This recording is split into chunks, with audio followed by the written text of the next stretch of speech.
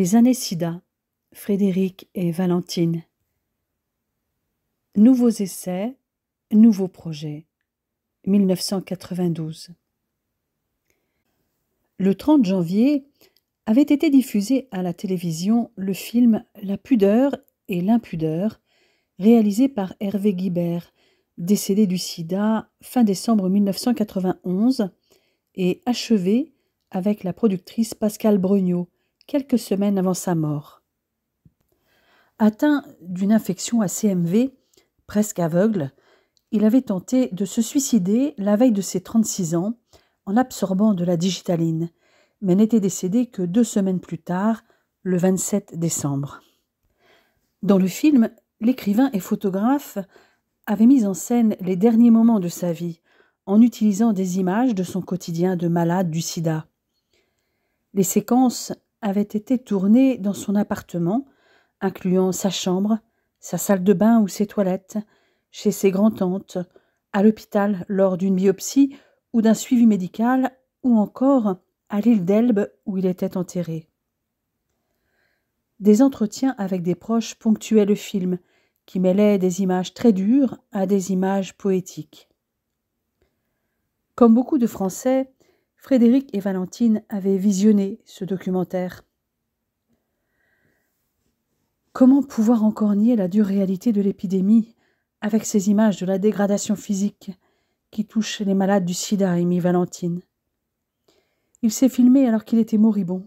Ça fait froid dans le dos. Quand je pense que les médecins l'ont réanimé alors qu'il voulait échapper au sida, finalement il a agonisé encore deux semaines. Je me souviens l'avoir vu dans Apostrophe, dit Frédéric. C'était pour parler de son livre À l'ami qui ne m'a pas sauvé la vie, dans lequel il avait révélé sa séropositivité découverte en 88. À moins que ce ne soit pour les deux livres de la trilogie, Protocole compassionnel et L'homme au chapeau rouge, je ne sais plus. Je me souviens de cette émission en mars 90, dit Valentine. C'était à propos de son livre à l'ami qui ne m'a pas sauvé la vie. Je revois Guibert qui disait avoir eu connaissance par un ami de la maladie qui touchait les homosexuels en 1981 aux États-Unis. Il en avait parlé à Michel Foucault, qui s'était tordu de rire à l'idée d'un cancer qui ne toucherait que les homosexuels et croyait qu'il s'agissait d'une affabulation. Et aussi ce moment où il avait dit que le sida agressait et ratatinait les corps, mais avait aussi un impact sur la conscience avec quelque part une progression de la conscience. C'est vrai. Il y avait eu aussi ce moment où Pivot lui demande s'il avait toujours la digitaline qu'il avait achetée en vue d'un suicide. Valentine resta silencieuse à ce moment. Elle revoyait l'écrivain qui avait dit s'être renseigné sur la digitaline comme moyen de se suicider auprès de médecins et dans le vidal de sa grand-tante, pharmacienne. Elle finit par revenir dans la conversation. Si voir cet homme montrer son corps décharné, crier sa souffrance et sa maladie à tous ceux qui refusent de voir cette réalité, pouvait donner un coup de pouce à la prévention. Ce serait en effet une bonne chose. Ceci dit, depuis sa mort, de nombreuses associations ont vu le jour pour assister les malades ou se charger de la prévention. Pour les jeunes, intervint Frédéric, je pense que la mort de Freddie Mercury a été plus marquante. Les nombres de cas restaient nombreux.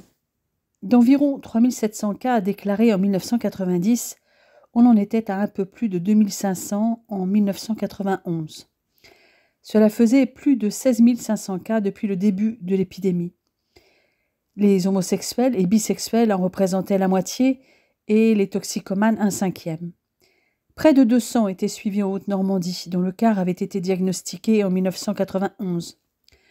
Quant aux causes de la mortalité, l'infection opportuniste fatale à beaucoup de malades restait, la pneumonie à pneumocystis carini.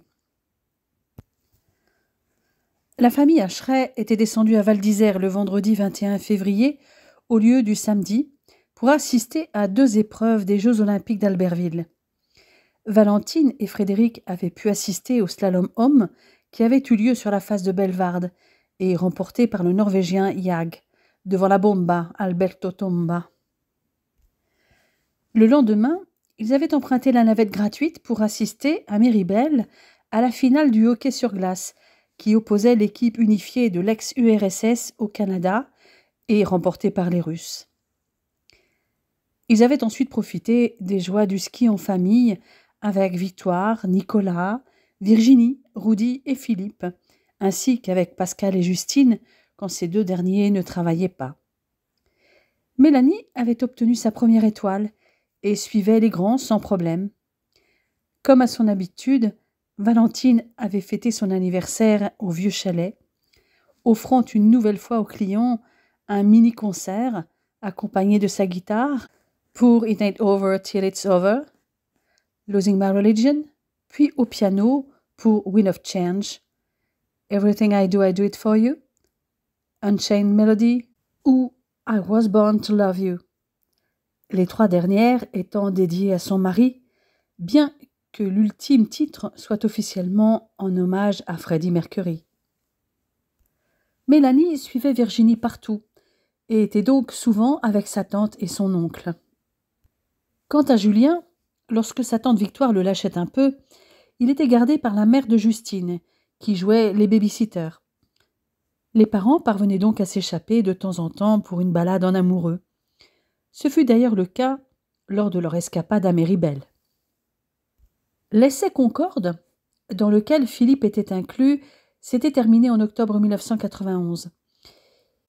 Il comparait chez des personnes asymptomatiques l'administration immédiate d'AZT et l'administration différée, soit lors de la chute confirmée du nombre de lymphocytes CD4 en dessous de 500, lorsque le clinicien le jugeait opportun, soit de l'apparition de signes cliniques de sida. Entre octobre 1988 et octobre 1991, 1749 personnes avaient été randomisées en France et en Angleterre pour recevoir soit un gramme par jour d'AZT en quatre prises, soit le placebo correspondant. Les données devaient être recueillies jusqu'au décès ou jusqu'au 31 décembre 1992, avec un suivi moyen de 3 années,1 et un nombre de 5419 personnes par année. Cet essai avait permis de démontrer l'inefficacité à long terme d'une prise précoce d'AZT pour les malades. En outre, des effets indésirables sérieux avaient été relevés, en particulier digestifs, hématologiques et musculaires, dont certains potentiellement mortels. Apparemment, Philippe n'avait ressenti aucun effet indésirable, ce qui laissait penser qu'il avait reçu le placebo. Ses résultats biologiques étaient corrects et ne montraient pas de chute de ses lymphocytes CD4.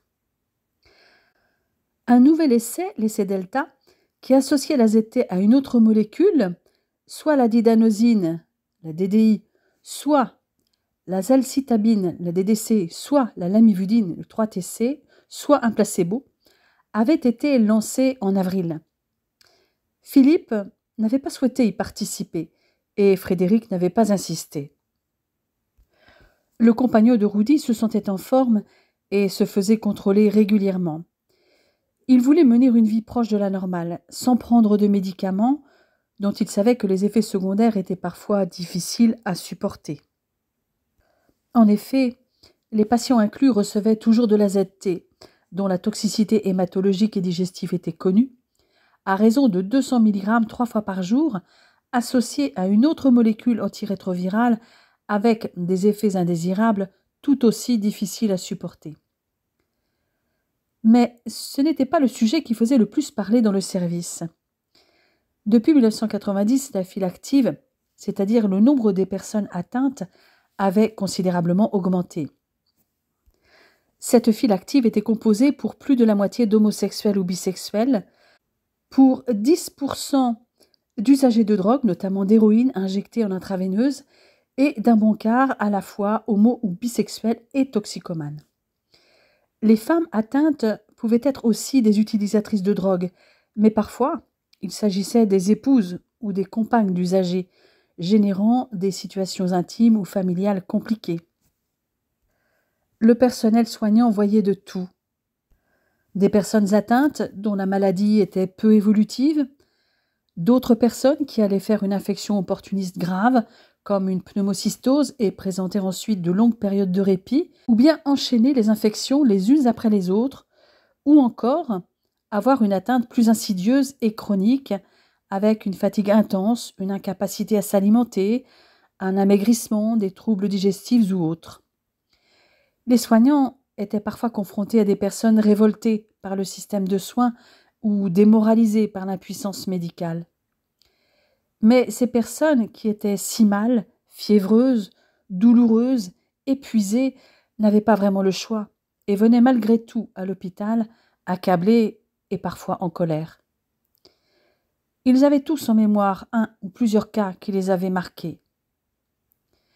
Tu te souviens de cette jeune marginale qui avait subi des sévices pendant son enfance et à qui on avait diagnostiqué un lymphome il y a à peu près trois ans, dit une infirmière à Valentine.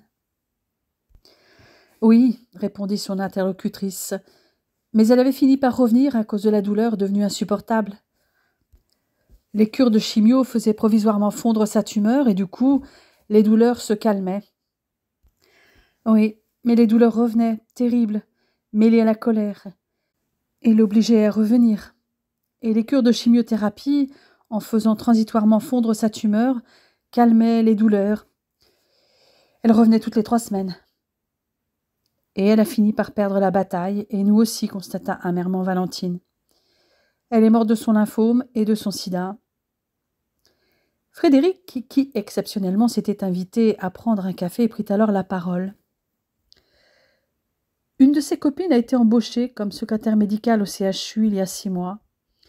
Elle est en dermatologie. Quand elle a vu mon nom sur ma blouse, elle m'a parlé de cette malade. Elle m'a dit que ce service l'avait relevée et qu'elle avait compris qu'on se battait avec elle que les rendez-vous réguliers n'étaient pas pour l'enquiquiner ou pour faciliter nos plannings, mais pour suivre l'évolution de sa tumeur et pour respecter le temps d'efficacité des chimios. Elle s'était sentie respectée, ce dont elle n'avait pas eu l'habitude jusque-là. Moi, c'est David qui m'a marqué, poursuivit Valentine. Il avait surmonté plusieurs infections opportunistes. Toutes ces infections qui avaient marqué son passage au stade sida avait motivé sa plongée dans la drogue. Il voulait vivre sa vie et choisir sa fin, dépasser ou régler autrement ses conflits avec ses parents. J'ai souvent parlé avec lui, mais surtout écouté, et ça avait pris une autre tournure lorsqu'il avait bien compris, bien analysé, qu'il n'avait plus le choix ni l'avenir devant lui à cause du sida. Il ne pouvait plus avoir recours à la drogue à l'hôpital. S'il avait été aux États-Unis, il aurait pu bénéficier de méthadone, mais malheureusement, ce n'est pas légal en France. Mais tu l'as aidé, Fred. Et il a fini par laisser tomber le produit et a vécu tout un temps de bouleversement intérieur, d'échange avec nous. Oui, c'est vrai, pendant toute cette phase, nous l'avons accompagné du mieux possible, précisa Frédéric. Je me souviens de son médecin généraliste qui était venu plaider pour qu'on le laisse utiliser de la drogue s'il le souhaitait, au point où il en était. Il se préparait à batailler avec nous dans ce but, mais lors d'un entretien avec lui et moi, il avait vu que nous y étions prêts. Cependant, David, lui, avait cheminé différemment. Mais ça avait été la panique quand il avait perdu la vue suite à sa méningite, puis son AVC. Il avait certes cheminé et compris qu'il n'avait plus aucune chance de s'en sortir vivant, mais mourir aveugle, mourir dans la nuit, le terrorisait. Oui, il est mort peu de temps après avec cette cécité complète qui lui faisait si peur, mais qu'il avait aussi fini par accepter, grâce à toi. À cette époque, j'avais aussi eu peur pour toi, tant tu t'étais investi dans son accompagnement. En tout cas, cette saloperie de maladie nous fait progresser, nous, soignants, ajouta Valentine. Fini de se croire tout-puissant comme certains. Le sida nous oblige à être plus humbles, nous sommes encore tellement démunis. Il a fallu trouver des trucs simples pour prendre ces malades en charge du mieux possible, et la relation de soins y a gagné. Pas seulement avec les patients ou leur entourage, mais aussi entre nous, au sein d'un même service et entre services. Il faut bien partager nos compétences, nous concerter, être clair avec les patients, les respecter et parfois faire des contrats de soins explicites. Ça n'est pas toujours simple, dit le chef de clinique. Je sais, dit Frédéric. Certains restent bloqués sur leur certitude, d'autres comprennent. Mais le manifestent longtemps après parce qu'ils ont besoin de digérer ou d'évoluer individuellement ou avec le groupe. Mon côté tenace pour certaines convictions de fond me permet de repérer facilement et de comprendre ces blocages et ces évolutions retardées chez les soignants et certains médecins du service. Toi aussi, tu n'as rien lâché, mon amour. C'est vrai quand tu dis que la relation de soins y a gagné, et notamment le respect du patient, dit l'infirmière qui avait parlé au début. Mais il y a encore du boulot. Ce qui m'étonne toujours, c'est l'évolution de certains étudiants en médecine entre leur tout premier stage, puis l'externat et l'internat. Au tout début, lors de leur premier stage, rentrer sans frapper dans une chambre, examiner à plusieurs une femme déshabillée ou poser des questions intimes les choquent ou les révoltent. Quelques années plus tard, les mêmes rentrent sans frapper, examinent une femme dénudée sans respecter son intimité, et j'en passe, sans se poser de questions. Eh bien, crois-moi, je ne me gêne pas pour les rappeler à l'ordre, quel que soit leur statut, rétorqua Valentine. Si on ne pointe pas de façon explicite ces histoires de respect de l'autre au quotidien, cela se dilue petit à petit. Puisqu'on parle de respect et dignité, moi, il y a quelque chose qui m'a toujours gênée, dit une interne. Régulièrement, dans les réunions d'équipe, on parle de la vie des personnes, leur biographie, leurs conditions de vie et même de couple. On va parfois très loin. Est-ce toujours nécessaire? Je me dis souvent que moi-même, j'ai mes petits secrets, et ma famille et mes amis n'ont pas besoin de les connaître. Or, en équipe, au nom de la coordination des soins, tout est dit aux différents soignants intervenant auprès du patient. Tu as raison. Moi aussi, parfois ça me gêne, dit Valentine. C'est pour ça qu'il faut qu'une équipe soit soudée, au moins par une éthique du respect de l'autre, surtout que l'utilisation de tout ce qu'on apprend ou comprend de la vie de nos patients est limitée. Pour moi, Dire en équipe, ce n'est pas tout dire. C'est-à-dire, demanda sa collègue. Certaines choses doivent rester un secret partagé entre le patient et le soignant à qui il a décidé de faire confiance, que ce soit un infirmier, un médecin, un psy, une assistante sociale, peu importe. Ce soignant peut très bien ne rien dire ou divulguer seulement une partie de ce que le patient lui a dit en confidence. Par exemple, je peux très bien dire seulement à Fred ou n'importe quel médecin Monsieur Untel ne va pas bien en ce moment, sois attentif, vois-le, peut-être de façon plus rapprochée, en consultation. Ou bien euh, un séjour nécessaire serait peut-être un répit important, particulièrement en ce moment, sans autre précision.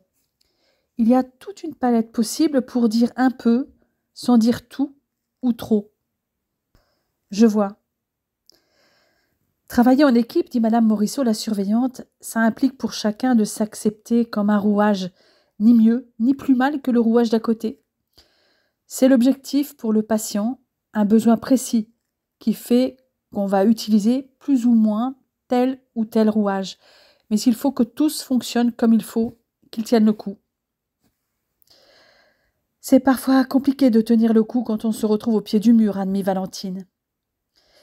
La maladie, et surtout les périodes d'aggravation, la dépendance, font parfois voler en éclats ce qui était jusque-là gardé secret par le patient ou qu'il avait confié à un soignant en particulier. Ça m'est arrivé de savoir en faisant semblant de n'avoir rien compris, ou savoir en gardant le secret, ou encore de partager en expliquant que ce secret partagé sera en même temps respecté, protégé. Ça semble un détail, mais pour le patient, c'est essentiel. C'est vrai, dit le chef de clinique. Je me souviens de cette femme pour qui le secret de la maladie était essentiel et respecté par les soignants. Mais en même temps, c'était un secret de polichinelle, parce que certains de ses proches avaient compris pourquoi elle venait régulièrement à l'hôpital. La survenue de la dépendance, liée à une complication grave, avait fini par mettre cette patiente au pied du mur. Arrêter les soins ou accepter l'aide de sa famille. On a fait une réunion de famille, famille et soignants, avec son accord, où j'ai nommé les choses, prononcé le mot sida. Après quelques secondes, le frère de la patiente lui avait dit que sa famille l'aimait et que peu importait sa maladie. Ensuite, on avait pu avancer. Mais ça aurait pu mal se passer si un soignant n'avait pas respecté la parole et le secret exigé par la patiente au départ. C'est certain, conclut Valentine, d'autant que chacun d'entre nous est parfois dépositaire de choses parfois lourdes, des histoires de famille, de couple, de vie chaotique, de sévices, d'inceste, j'en passe et des meilleurs. En disant cela, elle regarda Frédéric. Ils songeaient tous les deux à Philippe, devenu un de leurs proches, et dont ils préservaient les secrets, du moins ceux qu'il leur avait confiés, comme il l'avait fait à Roudy. En se retrouvant tous les deux ce soir-là, lorsque les enfants furent couchés, Valentine se décida à faire part à Frédéric d'un projet qu'elle mûrissait depuis un certain temps. Chérie, je songe depuis un moment à évoluer dans ma carrière. Je me plais beaucoup dans le service, mais je sens que je pourrais être encore plus utile à un autre niveau. Je te vois venir. L'école des cadres? Oui. Je continuerai à prendre soin des patients en prenant soin des soignants. Vaste programme, Madame Acheret. Mais tu as tout mon soutien. Et puis qui sait, tu reviendras peut-être dans le service comme cadre? Madame Morisseau approche de l'âge de la retraite. Peut-être, mais ça dépendra de la direction des soins. En attendant, il y a un concours à préparer et certainement une année de faisant fonction dans un autre service et une année à l'école des cadres. Je sais que tu y arriveras haut la main. Et puis, qui dit cadre dit horaire de journée, pas de nuit, et seulement des gardes le samedi après-midi et les dimanches et fêtes très ponctuellement. Donc tu seras avec moi tous les dimanches et toutes les nuits. Attention mon amour, tu oublies qu'il y a aussi des cadres de nuit. Frédéric prit un air implorant et la fixa droit dans les yeux comme s'il cherchait à l'hypnotiser avec ses yeux d'un bleu irréel. S'il te plaît, fais tout ce que tu peux pour éviter un poste de nuit. Je veux t'avoir près de moi chaque nuit. Je te promets d'essayer, mais encore une fois, ce n'est pas moi qui décide, c'est la direction des soins. Oui, mais le chef de service a son mot à dire et. Et quoi? Eh bien, notre chef de service actuel va prendre sa retraite d'ici la fin 1994 et devra être remplacé. Et j'ai bien l'intention de poser ma candidature. Le président de la CME doit donner son avis et il m'est favorable. Reste à savoir qui il y aura comme autre candidat ou candidate. Mais c'est encore un secret. Donc d'ici que tu passes ton diplôme, si je suis le nouveau chef de service, j'aurai mon mot à dire. Ça ressemble à du favoritisme, ton affaire? Peut-être que justement, la direction des soins me demandera d'aller n'importe où, sauf dans ton service. Mais dans ce cas, je te promets de rester à proximité par exemple Réamed, Réachir ou ORL, c'est-à-dire des étages tout proches. Et tout ça, pas avant la rentrée 1994. L'essentiel, c'est que nous puissions déjeuner tous les deux, dit-il en l'embrassant fougueusement après l'avoir renversé sur le canapé. Ce fut le prélude à un début de nuit d'amour passionné, où ils peinèrent à retenir leurs gémissements pour ne pas réveiller les enfants. Avant la fin avril, Valentine avait fait part à sa hiérarchie de son projet d'école des cadres. Et, comme de coutume, avant d'intégrer la dite école, il lui fut demandé de faire fonction de cadre pendant une année minimum dans un autre service que le sien. Après les vacances d'été passées en Italie, le couple s'était retrouvé séparé professionnellement. Toutefois, Valentine n'était pas très loin du service des maladies infectieuses, puisqu'elle avait été affectée en réanimation chirurgicale. Elle n'avait pas mis très longtemps à s'adapter à son nouveau poste. Ses nouveaux horaires lui permettaient de déposer Mélanie à l'école et Julien à la crèche et de venir avec son cher et tendre au travail, la main dans la main. Le soir, elle finissait souvent vers 18 heures et Mélanie allait à la garderie. Les infirmiers, aides-soignants et ASH l'avaient vite adoptée, ainsi que la plupart des chirurgiens et anesthésistes réanimateurs, tous des hommes.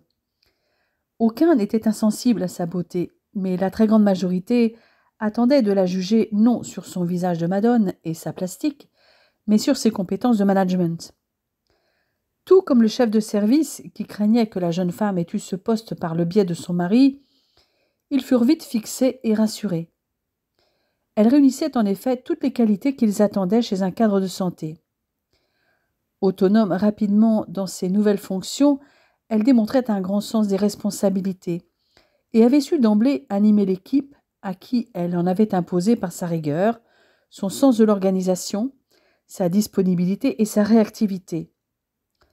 Son ouverture et sa tolérance avaient remporté tous les suffrages, et ses agents, comme les familles de patients et les patients eux-mêmes, appréciaient ses qualités d'écoute et de dialogue. Cette dernière capacité lui était très utile pour obtenir ce qu'elle voulait des services économiques. Le chef de service n'hésita pas d'ailleurs à user de ses capacités de négociatrice à certains moments. Il avait repéré qu'elle était très observatrice et qu'elle analysait finement les situations. Quant à ses synthèses, elles étaient toujours impeccables. Qui plus est, elle était très jolie à regarder, ce qui ne gâchait rien. Mais ils connaissaient tous le professeur Hacheret, et tous, même les nouveaux internes, qui étaient arrivés en novembre, savaient que le couple était très uni.